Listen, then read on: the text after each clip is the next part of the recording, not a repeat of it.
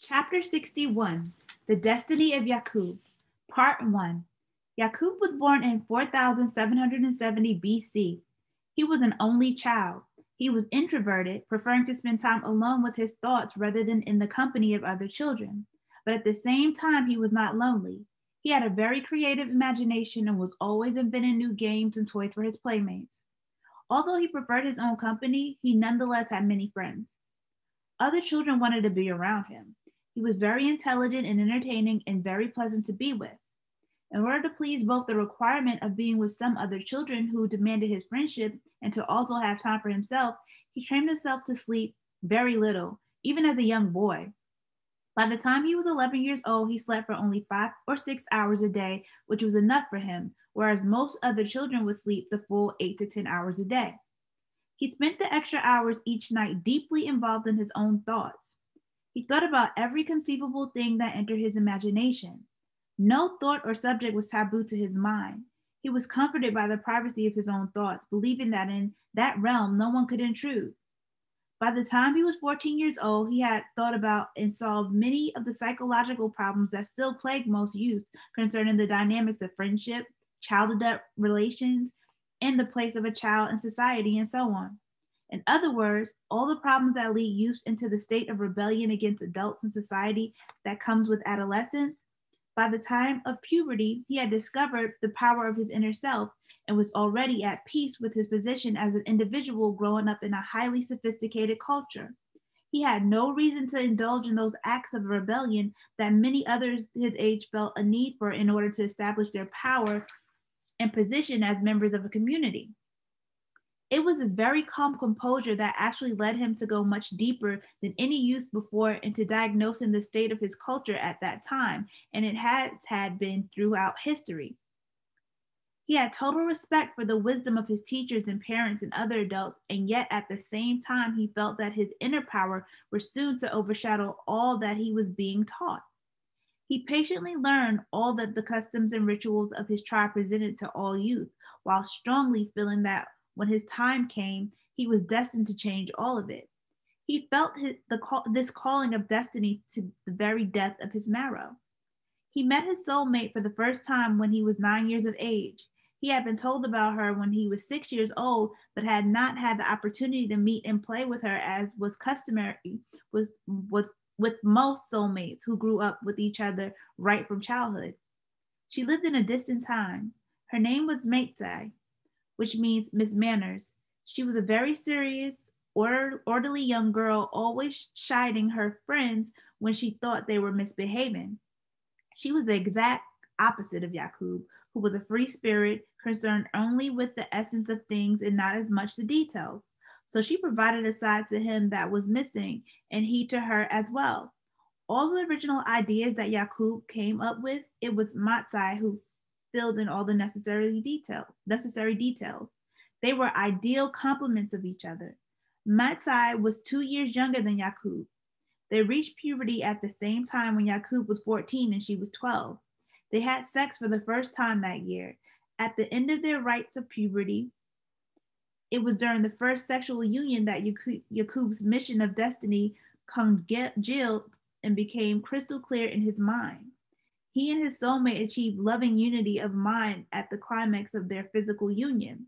Their minds became one, and all that was missing in his ideas and inspirations was suddenly fulfilled and clarified as a result of the love that bonded them close. When the climax subsided, both of them were completely changed. They had grown so much in mind and heart in that one moment, and the transformation from childhood to adult was so total that many people swore that even their physical features were different. Their stature certainly changed. They now walked as two who no longer speculated or heard, but knew.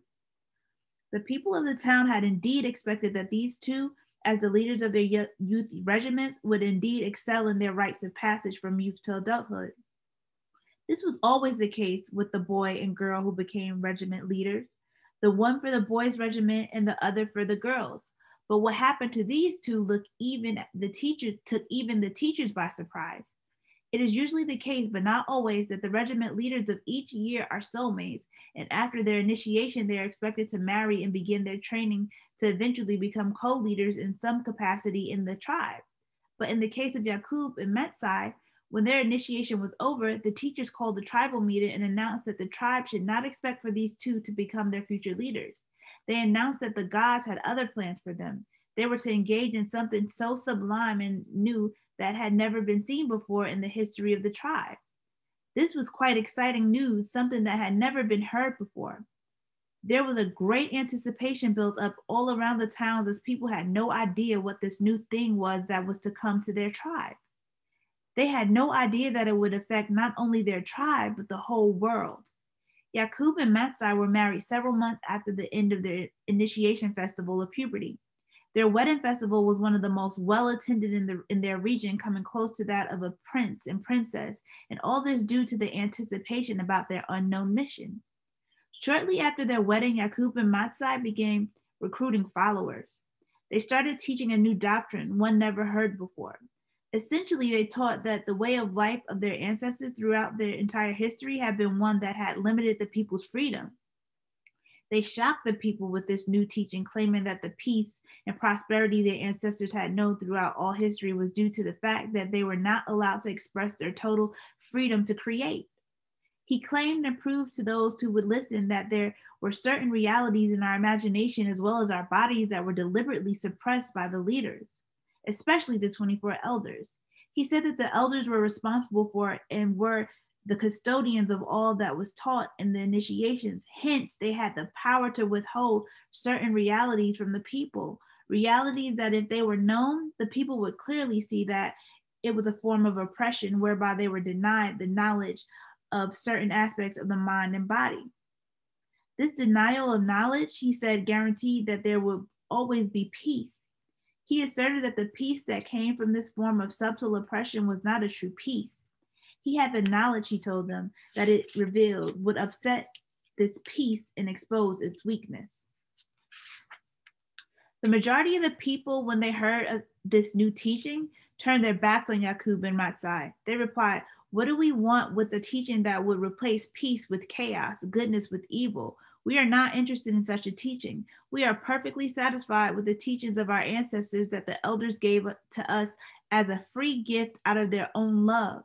If indeed there are things that must be prevented from manifesting in order to guarantee our peace and the peace of our descendants, then we have no qualms with their prevention. But there were a few who were curious. They asked him, What are the things that you say are hidden in our minds and bodies that, if allowed to come out, would disturb our peace? We are certainly curious to know and will follow you to find out.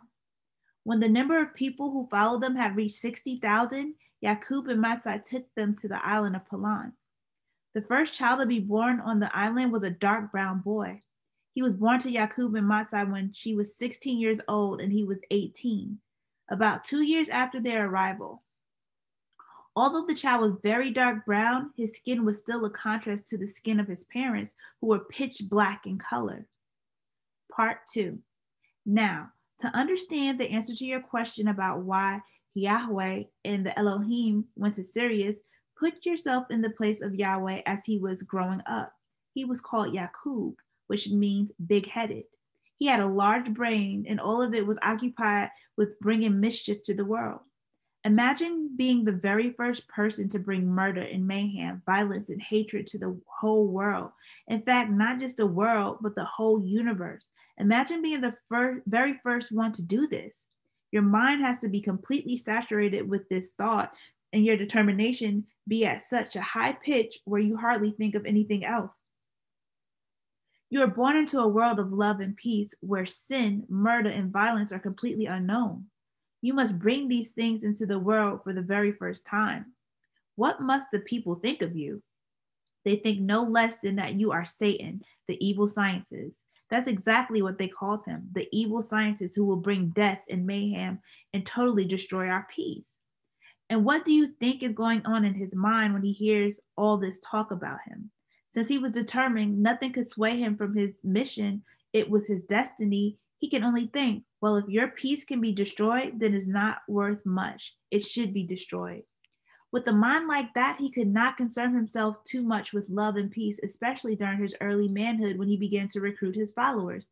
Perhaps in time, when he matured to be an old man, he would grow wise and realize that nothing can surpass or supplant the peace and love of God, which is eternal. But there was no guarantee that he would reach such a level of wisdom given the nature of his mission. Now, in all honesty, Yakub was not an evil man. He was a very determined man. He had determined in his mind to test the love of God.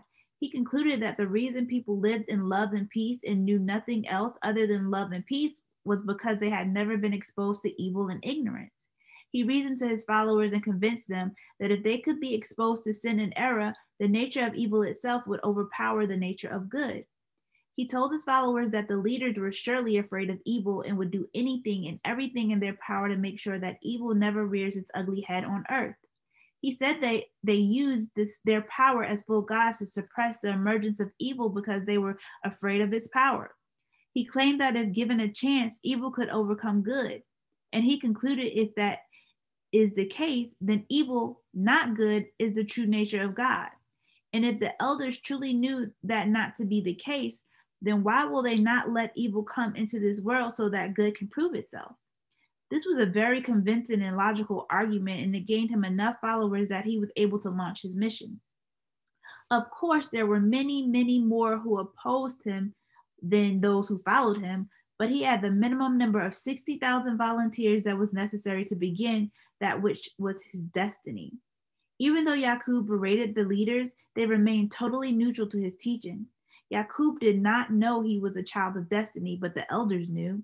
They knew every detail of his mission and had even prepared the road for him over the previous 44,000 years before he was born. He knew nothing of this at the time. This was how it should be because his determination was completely genuine and honest. Remember that even though the lives of all people on earth are ruled by destiny, they are nonetheless genuine and brand new. The newborn people themselves know nothing of their destiny. As soon as the soul is conceived, he or she is separated from the knowledge of the elders, who are the only ones who know the destiny of every soul. To them, the future is history. But to the souls themselves, life is pure and brand new, totally and completely genuine. Hence, when the thoughts of evil ran through Yakub's mind, to him they were original thoughts, genuine and unpretentious, and were being formulated for the first time in the mind of any man. The elders, on the other hand, are the culmination of perfection. They have reached a level of peace that Jesus described as the peace that passeth understanding. There is nothing on earth that can disturb their peace, Hence, they were able to take Yakub's rebellion in stride and were not in the least ruffled by it. They know the end from the beginning. When it is said that there was a war in heaven between good and evil, this war did not involve God at all. God, in the person of the 24 elders, is always above the tension of opposites. God is the reconciliation of opposites. So we have heard of how this story of Yakub was depicted in ancient literature as the war between God and his rebellious angels led by the evil Satan, and that God cast the rebels out of heaven. It is true that the elders cast Yakub out of their society and banished him to an island, but the reason for it is not that God was angry at him. They did it so he could go about his mission undisturbed. There was just too much opposition from the ordinary citizens of heaven, the peaceful society, that Yakub could not have succeeded had he tried to establish his ideas in their midst. The best alternative was to cast him out of heaven and banish him to the island of Paran, where he could carry on with total authority and with the full loyalty of his followers. This background information will help you to put yourself in his place and to imagine his state of mind and his determination to do the undoable, his willpower to achieve that which had not been achieved throughout all past eternity. Such a state of mind could do no other than unfold a great sense of power in the person. Here he is poised to overcome that which all people and all gods throughout eternity have maintained is the unsaliable and true and only state in which God can exist forever, i.e., the state of goodness. He is certain that he is about to overcome goodness with evil and show the whole universe that goodness, love, and peace are weak in the face of sin, evil, and turmoil. Imagine such a mind. Also, bear in mind that he had this type of mind all his life. He discovered the possibility of evil er- very early in life when he learned about the tension of opposites. As the story has been told before, he was playing with magnets as a young child when he hit this revelation came to him. he discovered the opposite polarities of a magnet. Given his great intelligence, it did not take long for him to realize that this tension of polarities also exists in people. As he progressed in his studies, and all his teachers were greatly impressed by his unusual intelligence, unusual because remember, he was one of the new people, the majority of whom had their native intelligence corrupted by self isolation for 44 millennia before the time of Yakub. As he studied further, especially when he went into the study of genetics, he discovered that the bodies of his ancient ancestors had a genetic perfection that naturally suppressed the emergence of his tension of polarities. He discovered that their genetic structure was so perfect that the, t- the tension he observed in the negative and positive poles of a magnet could not manifest at all in the negative and positive of their genes. The positive pole of their procreative genes, the black germ, was in total and complete dominance over the negative pole, the light and recessive germ. This negative pole had no opportunity of ever manifesting in their bodies. He thus came to the conclusion that it was because of this suppression of the negative by the positive that gave good its power over evil and caused peace to prevail over chaos throughout all past eternity. He reasoned that if the negative polarity could be given just as much leeway as the positive, then the recessive light germ would rule the dominant dark germ forever. All of these conclusions he reached before he was 21 years old. He was only 16 when he and his soulmate and their followers migrated to the island to begin their mission. He was a true child prodigy and a born leader with a natural charisma and incredible sense of power, as well as a natural gift of ora- oratory and logic. That was the type of mind that existed in this God. So he decided in his mind that he was going to become the new God, the one that will overthrow the God of eternity, the God of goodness. It was in this state of mind that he went to Pelan to breed a new race of people that would rule us. And he would be their God, thus making him the God of the whole universe because his creatures would conquer all Black people. When you have a mind such as his, completely saturated with this thought and living at a time when we no longer have the benefit of the seven great rituals of the Black nation, then it's inev- inevitable that you will continue along the path of indefinitely. Your view of reality is circumscribed, being overshadowed by your intense desire to prove your point. And the intensity of his desire was so strong that nothing on earth could turn it around.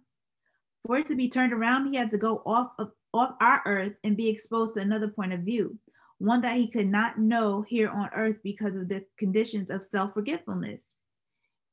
It was for this reason that he had to live on Sirius, a perfect earth and society that has ancestors, his ancestors had known here, here ages before he was born.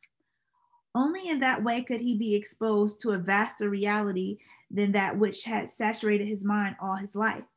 But this exposure to a larger worldview had to wait until he had exhausted all the possibilities of his mind. In other words, he had to live a full life on earth with complete freedom to finish his mission. God loves all Black people the same because we are all the incarnation of God. There is no possibility that any Black person will go astray so far that he could become irretrievable. This was the direction that Yakub was headed in, and the elders knew his only salvation lay outside of our earth, back at the home of our original ancestors. Here on earth, he would experience a lifetime full of the possibilities of evil and sin, and on Sirius, he would experience a lifetime of the power of love and goodness. Then and only then could he come to a fair conclusion about which system of life was superior. That is why he and the rest of the Elohim went to Sirius. Part three. This brings me to the other important part of your question.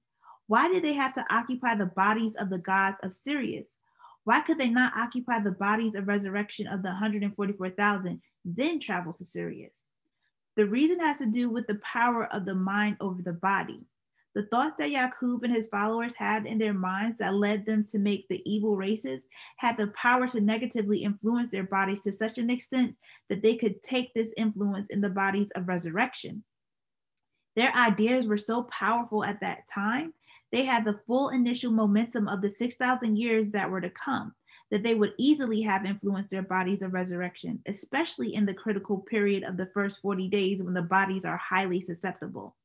Such a det- detrimental effect that could be caused by the power of their thoughts on the susceptible bodies would make it difficult, if not impossible, for the individuals to unite with the first self. The bodies of their twin souls on Sirius, on the other hand, cannot be affected. For one, they do not have the susceptibility of the bodies of resurrection. And secondly, they have minds that are fully mature and pure. Even the powerful thoughts of Yakub cannot displace the power of truth known by the gods of Sirius. Although in, on Earth, his ideas were the most powerful, on other planets where the ancients lived a perfect and natural life, their power was really infallible and immature. Their thoughts were given great apparent power and stature because of because our true power had been suppressed and corrupted for 44,000 years. Yakub's concept was powerful enough to make him God on earth and God of his creatures, but it was not nearly enough to overthrow the eternal power of goodness that abounds across all of creation. It was a light shining in darkness where even a dim light appears bright. When lifted up to the brightness of the sun of eternal truth, its dimness becomes obvious. To the rest of our kin in the universe, Yakub's talent did not lie in his ability to cause evil to overcome good. It lay in his creative power. He created a new type of creature that God had been yearning to experience for all of past eternity, that no soul before him had, him had been willing to bring to reality. This was a creature that would spend the rest of future eternity without the knowledge of absolute perfection. It is essential for God to experience this also because it's a part of his or her being.